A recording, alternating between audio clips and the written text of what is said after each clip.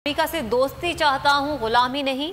खुद झुकूँगा, ना कौम को झुकने दूँगा। गुलामी के बजाय मौत को गले लगा, को गले लगाऊँगा। इमरान खान ने आज़म दोहरा दिया। मुल्क भर में जलसों का ऐलान भी कर दिया।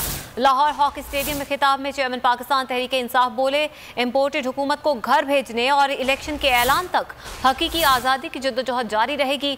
हुक्मरान अमरीका के पैरों में लेटे हुए हैं। इमरान खान ने हुकूमत का प्लान भी बता दिया।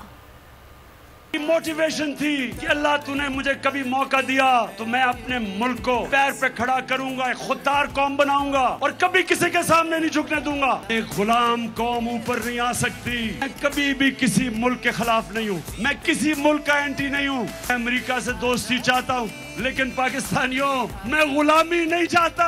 ऐलान करना चाहता हूँ कि मेरा आज अगला लायामल क्या है। सबसे पहले मैंने फैसला किया कि अपनी आवाम में निकलने का। मैं अपने लोगों के पास जाऊँगा। अगले हफ़्ते पिंडी जलसा करने जा रहा हूँ। उसके चंद दिनों के बाद कराची। कराची इंतज़ार करो, मेरी, मैं आ रहा हूँ। मैंने बड़ी देर से, मुझे मौका नहीं मिल रहा कि ये जरदारी का भी सही माने में मुकाबला करने का मैं आ रहा हूँ इसके पास भी। सिंध में आपके पास भी आ रहा हूँ। सखर का भी मेरा प्लान है। हैदराबाद आ रहा हूँ। इस्लामाबाद जा रहा हूँ। मरदाहन आ रहा हूँ। अटक का मेरा प्लान है उस उसके बाद मुल्तान, बावलपुर, फिर सरगोदा, जेलम गुजरात, फैसलाबाद, गुजरावाला।